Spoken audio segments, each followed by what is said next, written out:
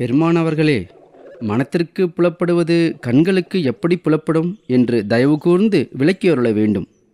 ஒரு பொருளில் ஸ்தூலம் பிரகிருதி சூக்கும பிரகிருதி காரண பிரகிருதி மகாகாரண பிரகிருதி மூல பிரகிருதி என ஐவகை பிரகிருதி அங்கங்கள் உண்டென்றும் அவைகளில் காரணப் பிரகிருதி மகாகாரண பிரகிருதி அங்கங்கள் மனத்திற்கு விஷயமாகுமென்றும் ஸ்தூல சூக்கும பிரகிருதி அங்கங்கள் கண்களுக்கு விஷயமாகுமென்றும் இவை சாதாரண லட்சணம் என்றும் அசாதாரண லட்சணத்தில் கண் அறிவு பலமுறை தீபசாதன லட்சியத்தால் நுட்ப அறிவாகி மனத்திற்கு விஷயமாகின்ற காரண மகாகாரண பிரகிருதி அங்கங்களையும் அறியும் என்றும் இவ்வாறு அறிவது அசாத்தியமல்ல. சாத்தியமே என்றும் இதனை அக்கயோக சாதன முதலிய வழிகளாலும் தத்துவ சாத்திரங்களாலும் அனுமான முதலிய பிரமாணங்களாலும் அறிந்து கொள்ளலாம்.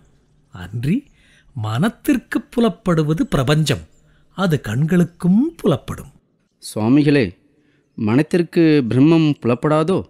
பிரம்மம் மாயா அதீதமாதலால் மாயா காரியமாகிய மனத்திற்கு புலப்படாது. பிறகு பிரம்மத்தை எப்படி அறியலாம்? ஆன்ம ஞானத்தால் அறியலாம். சும்மா இருக்கப்படாது. தருணம் நேரிட்ட போதே உத்தரிக்க வேண்டும். நான் முன்பு சொன்னது போல் கடிதம் மூலமாய் உத்தரிக்கின்றேன்.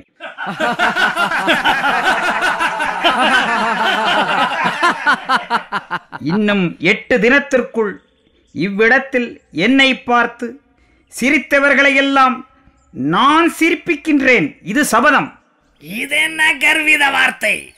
ஐயா நாய்க்கிறவர்களே இந்த கோபமும் கர்வித வார்த்தையும் எங்கிருந்து வந்தது?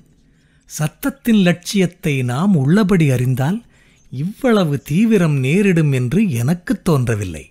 ஆயினும் போனது போக இனியாவது இச்சபையார் அறிய பிரம்மம் மனத்திற்கு விஷயமாகாதென்று நான் தெரிவித்தபடி தாங்களும் சம்மதிக்கின்ற பட்சத்தில் சம்மதம் என்று சொல்ல சும்மா இருக்க வேண்டும். சம்மதியாத பட்சத்தில் பிரமாணத்தாலும் யுக்தியாலும் அனுபவத்தாலும் தங்கள் கோட்பாட்டை நிறுத்துவீர்கள்.